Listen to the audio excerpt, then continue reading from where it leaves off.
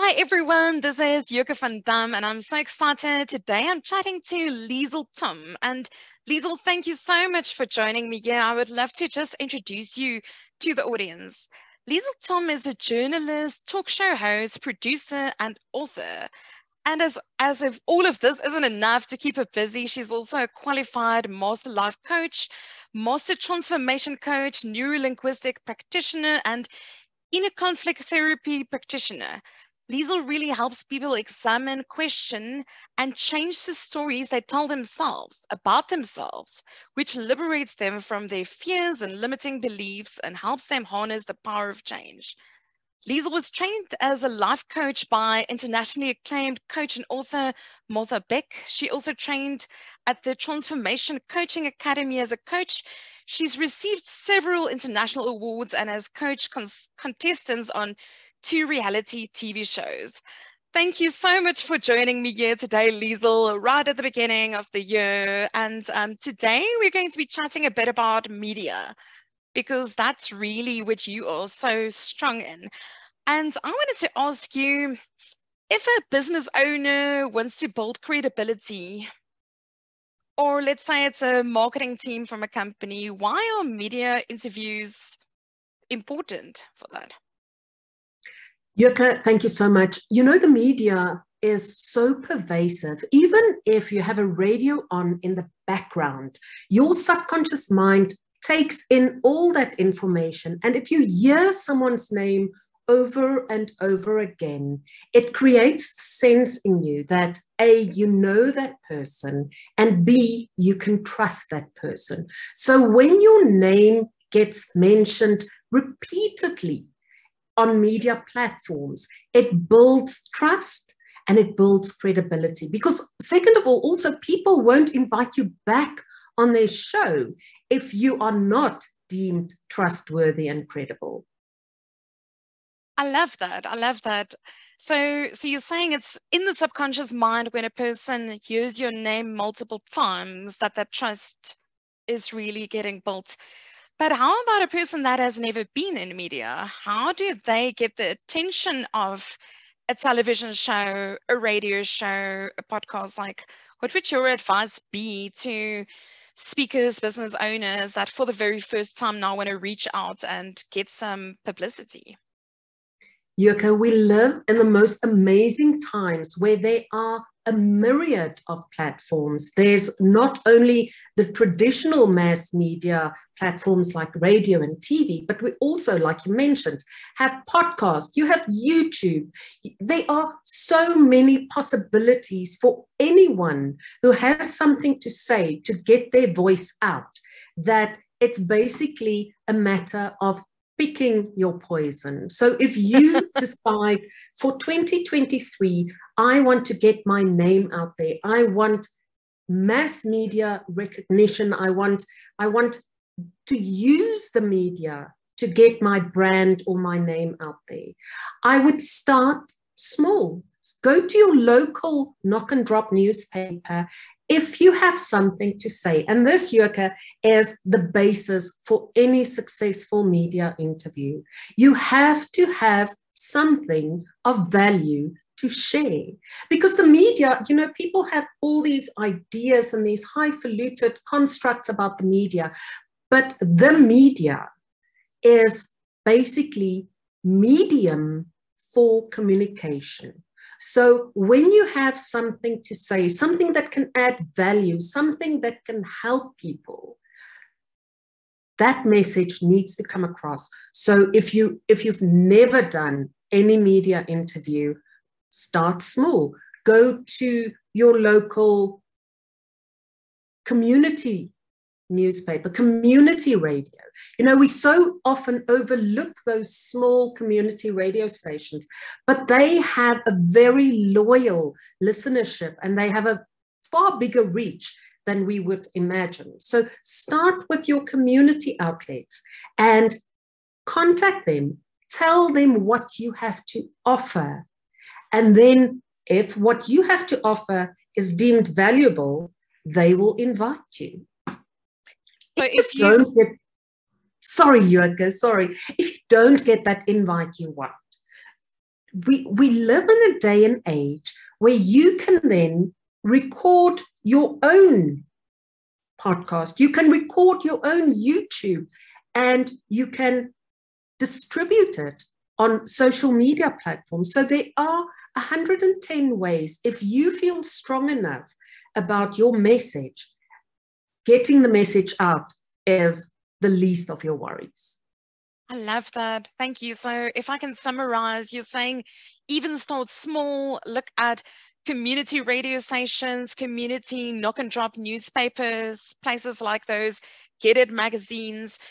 Who should they then contact, Liezl? Should they contact a specific, the editor of the magazine, or maybe look at a features editor, or and if it's radio, is it a producer? Like, who's the type of person they should get in contact with? If you are looking, and radio is my first love and, and where I've spent most of my, my career in broadcasting. And if you are looking at radio, I would suggest you speak to the producer. So often people think that it's the presenters that have the final say. And yes, some of our presenters are very involved in their shows and they very um, they co-create and collaborate with their producers to to to make that show wonderful. But at the end of the day the producer is the one who makes that call who, who has to do the planning who's, who has to to make sure there's enough time in that show for what you want to say so contacting a producer is a very good idea find out who the producer is on the show that you would want to be on. It's no use if you want to be on, let's use Bruce Whitfield's show on, on Cape Talk and 702. It's no use if you want to be on Bruce Whitfield's show to contact the producer of the morning show. Although producers are very nice people, you might be lucky and the producer of the morning show might be able to give you the number for Bruce Whitfield show. But contact, find out, do a bit of homework. And that homework is not just about getting you that interview or landing you in that hot seat.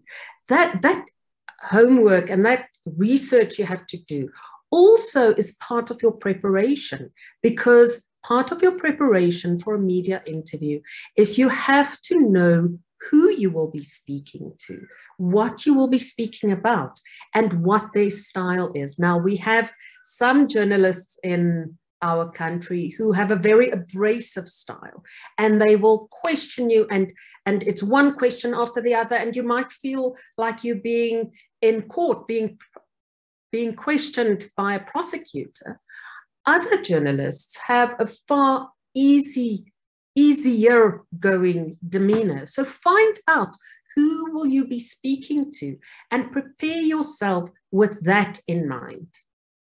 I love that. So really understanding the the style of the person that will be interviewing you so that even if it was almost like comparing it to a job interview who is this type of person are they going to be hardcore are they going to be more relaxed should you be more jokey? Should you be very serious?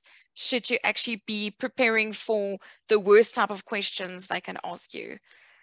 In the preparation for this, um, how, how easy is it for the person that's being interviewed to kind of lead the producer or the presenter into the topics that they want to discuss? So if I say I want to speak about um, the power of public speaking, how would I, would, would that already have to be in the first phone call that you actually pitch to them to say, I really think public speaking is important to your target audience, you know, or does that come in through the emails later or just before the interview? Where, where does the, the topic come in?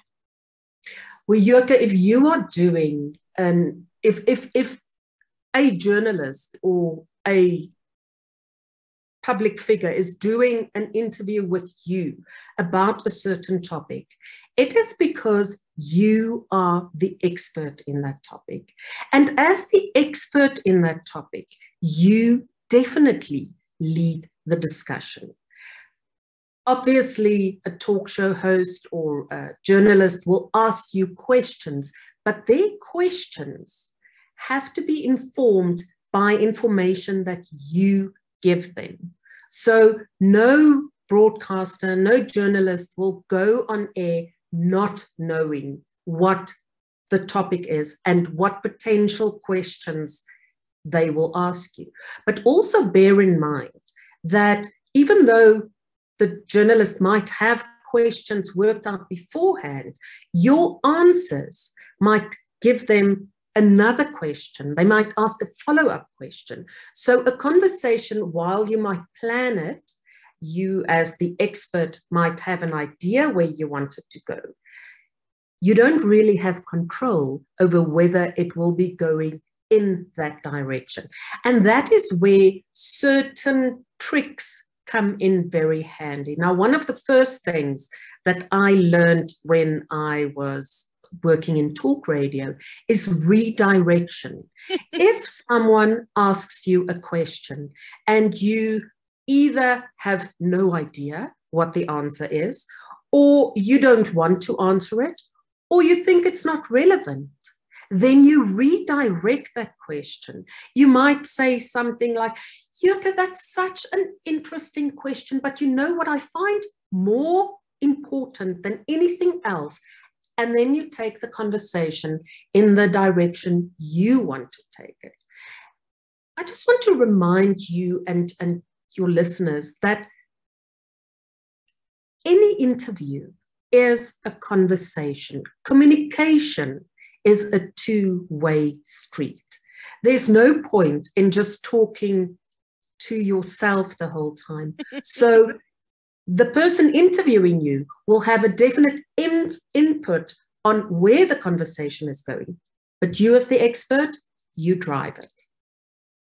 I I love what you're saying, Liezl. Thank you so much for these amazing insights. I remember at the Professional Speakers of Southern Africa, you spoke for us um, there in August 2022, and you um, you got up and you were speaking about being a your own superhero, and you wore a red jacket, and you spoke about the psychology of color, and you said something about red is not necessarily the best color to wear in front of an audience. What are important colors to wear if you are doing a TV interview or a YouTube interview? Like, how does the colors actually influence how people perceive you? It's absolutely true that there is this notion that the colors we wear have an impact on our audience. And you'll see I wear blue. Blue is the color of communication. But the first thing, above anything else, make sure that you are comfortable.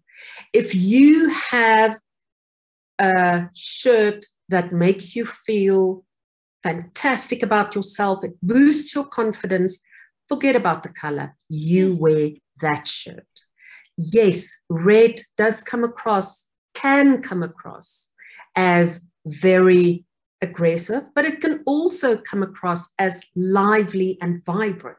So red is, is a, a tricky color. You have to think about it. But red is also very beautiful. It draws attention. So if you want to play it safe, wear something blue. Blue is as I said, the color of communication. Turquoise. Turquoise is the color of mass communication. If you are not sure, wear something that is one color. Don't wear patterns um, unless it's that one shirt that makes you feel like you can conquer the world. When you do TV interviews, ask the producer whether white is a good idea or not. Because some cameras, especially the older cameras, create patterns when they have a, a plain white. It, it creates like a chromalin effect. So ask the producer, they will tell you. Personally, I don't think white is a good idea for any interview because especially us ladies we don't want to look bigger and we all know that white makes you look bigger Black does slim you down. However, it can make you come across as very distant, cold, emotionally detached. So, again, ask the producer and look at other interviews on the show you are hoping to be on. It comes back to do your homework. I love that. I never knew about the turquoise is for mass media. That is so interesting. Sure. I wanted to ask you if a person is now in the TV studio mm. and um, it can probably be quite intimidating in terms of lots of cameras, lighting, lots of people there that's not necessarily part of the interview. Where should the person that's being interviewed look? Should they be looking into the camera? Should they be looking at the interviewer? What what would your recommendations be? In general terms, you look at the person speaking to you. It is not your business where that camera is pointing. It is the camera's cameraman's business, and the cameraman knows what he or she is doing. You are having a conversation with the presenter or the, the, the journalist. So have that conversation, make eye contact with that person. If they want you to look at the camera, I promise you they will tell you to look at the camera. But it's it doesn't happen very often that a guest will look straight into the camera and speak to the audience. The cameraman or camera woman will position the camera to catch everything on your face, all those nuances, all those micro expressions, but you look at the presenter. I love that. Thank you so much. If we're talking radio interviews, um, sometimes people are being interviewed over the phone and sometimes it's in studio. If it's um, from home, what would your recommendation be for the person to get set up? What will be the best location or, you know, set up for them to have the least amount of noise? What do you do if you have a radio interview that's over the phone? The first thing you do is you make sure you have a very good phone connection. Now, it is a problem, especially with load shedding. Our phone connections are not as good as we always would want them. But go to that spot in your house where you have the best connection. Or if you can, get yourself a booster. If you look here behind me to my left, there's a booster because cell phone signals mm. are not always strong enough. You can get technology to make them better. So, my first thing would be make sure that you have the best cell phone connection or a landline if you can, the best telephonic connection you can. Then you start working with the ambient noise. If you are in a situation, now it very often happens, especially with lawyers, for example, who are at court and it's a noisy area, pop in your earbud, put on your your your cans, your microphone with your, your earphones with a microphone. Do whatever you can to limit the noise as much as possible. And then speak a little bit slower than normal. Because if there's a lot of background noise, people have to concentrate and focus to block out that noise. If you speak too fast, then some of what you are saying might get lost in translation, so to speak. That's very, very helpful. In the same way, I wanted to ask you um, I think ever since COVID, I've noticed that a lot of the TV interviews have just happened at home and something really disturbing happened. You know what I'm talking about, where a lady had something really bad in the background of her shelf. Um, what what should people look at in terms of setup for if they're being interviewed from home? If you are doing a visual interview, from home using a platform like Zoom, my first, and this is one of my bugbears, Yoke, is when I can see, and I'm going to change my camera for a moment, but where you can see uh, the uh. ceiling, I want to have a fit, and it happens so often. I am not interested in looking at someone's ceiling. I want to look at the person. So make sure that behind you, there are no distractions. You can have a plant. Now, normally on this cabinet behind me, I have photos, I have crystals.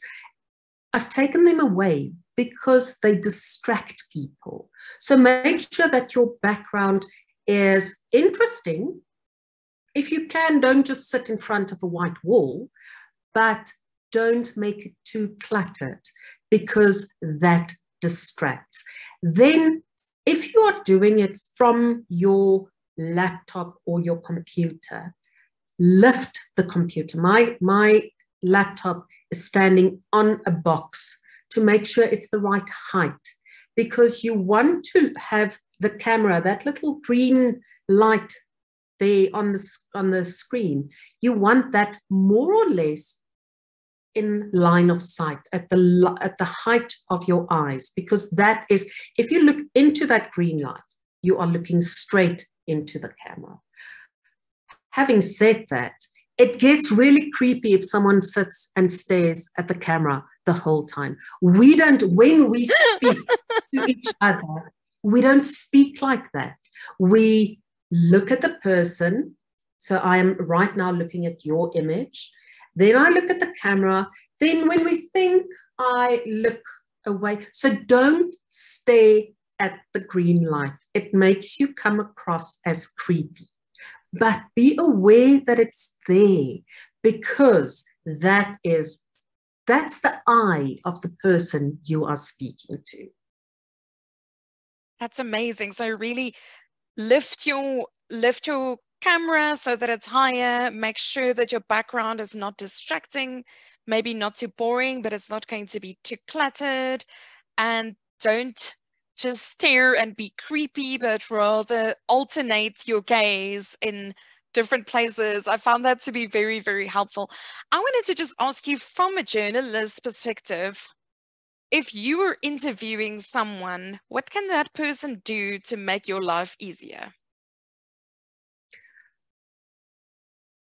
The first thing I would say is decide beforehand what the three most important points are that you want to bring across.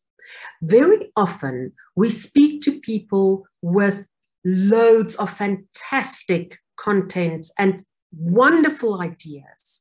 But if you are, for example, doing a radio interview, chances are that that interview is not going to be longer than three to five minutes. Now, if you have seven or eight wonderful, amazing points that you want to make, you're not going to be able to squeeze that into three to five minutes. So decide what is the most important thing I want to bring across, what's secondary, and what comes after that. And decide beforehand which of all your wonderful ideas and salient points are the most important and stick to them. Because that, you know, let's face it, Yoke, doing an interview is not something that most of us are very comfortable with because we haven't done it so often. The more you do it, the more comfortable you get, the more it becomes second nature. But especially the first few times, you have a physiological reaction. So your heartbeat increases, you start sweating, you have this negative self talk that keeps on this, you know, this little inner critic that keeps mm. on jabbering away. Yeah. Now, with all of that, you still need to make sense. So decide what are my three most important points and have the information to back that up. You can have five, but make sure that you know which two you can throw away because we don't want our interviews to become too vague, too general, or too cluttered. I love that. So, three main points. Back that up, have first, second, and third most important thing that you can talk about. And then I what I've struggled with, and I think this is because I like talking too much, Lisa, is is how long should your answers ideally be when someone is interviewing you? There are two absolute polar opposites. The one, the one kind on the one hand of the spectrum, the one kind of interviewee will give yes, no answers. And I have to say that is the most frustrating of everything. If you're trying to pull information Ugh. from someone, that becomes very hard. It's it, and it doesn't make for easy listening. Other side of the spectrum is someone who talks too much, who gives too long an answer. Now, if we look at those three points that you have, and if you give an answer that's too long on your first point, you are not, you, you stand, you risk not getting to your other points.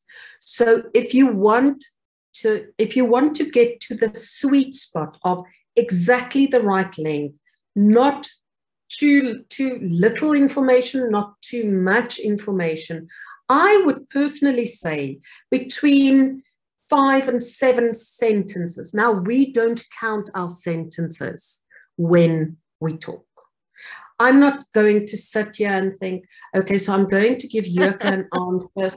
This is one sentence, that's another sentence. So it is something that you kind of get a feel for. The one secret I learned years ago about an, a successful interview is you always want to leave people wanting more.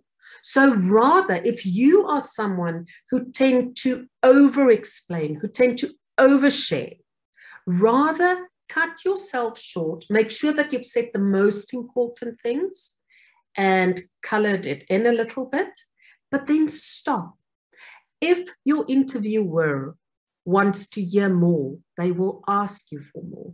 It's very difficult for an interviewer to manage time if someone gives too long winded and elaborate answers. You're really good at that in terms of keeping it to the minimum, closing it off nicely, I can really see your your media expertise coming through beautifully. Thank you so you. much, Liezl. I think like we've learned so much today. If I can summarize some of the top things that stood out for me, you were saying don't discount the smaller media houses. Go and speak to community radio stations, newspapers um, that's in your community. Pitch for those. If you can't get in, do your own. So, do you own YouTube interviews or podcasts? And possibly, could you possibly then use that to actually get into like a radio station if you had to send them a snippet of an interview you did yourself, Liezl? That is something that can be used. Yes, absolutely. Because once the, if, so if you're a producer for, let's say, a radio station and you are not 100% sure whether your talent should be doing this interview.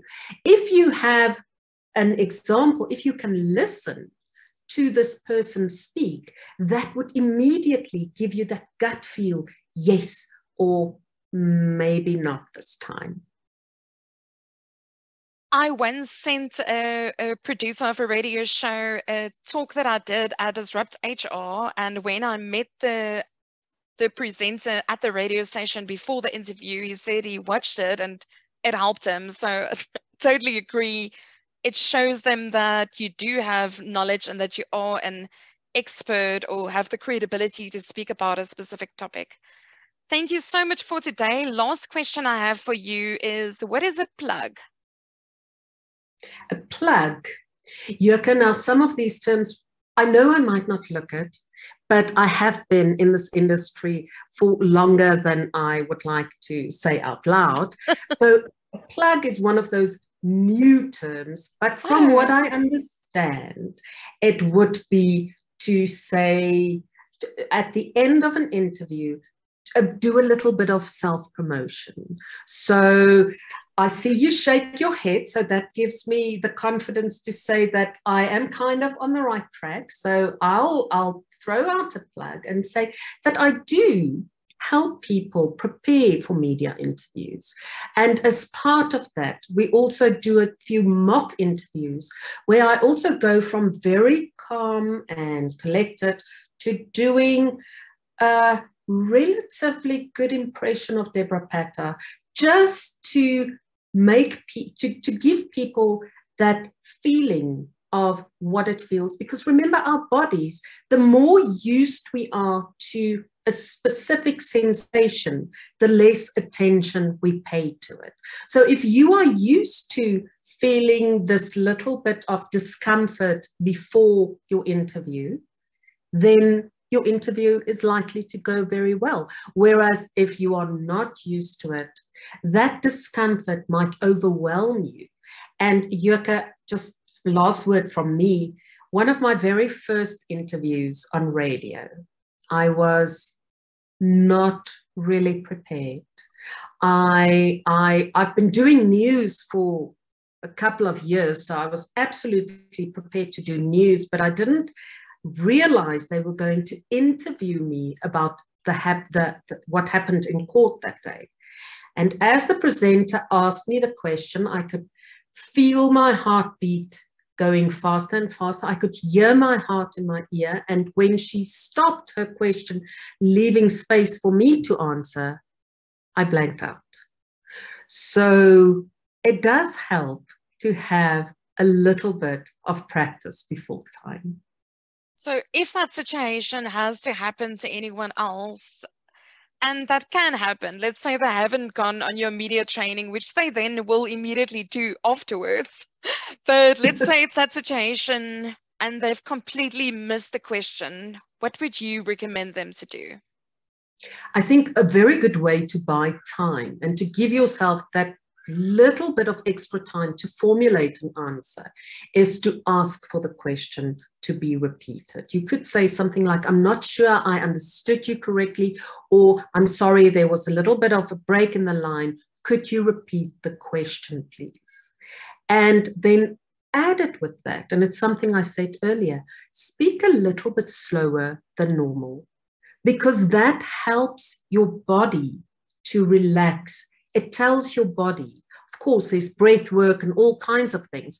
But when we speak slower, we feel more in charge. And that gives us just that little bit of a boost that we might need at such a time. Amazing, Liezl. Thank you so, so, so much. I'm sure that all of the listeners will really enjoy this. Such gems from a radio, TV, and even all other types of platforms that you could actually invest in yourself point of view. Thank you so much for your beautiful insights and I look forward to chatting you with you again soon. Thank you, Yoke.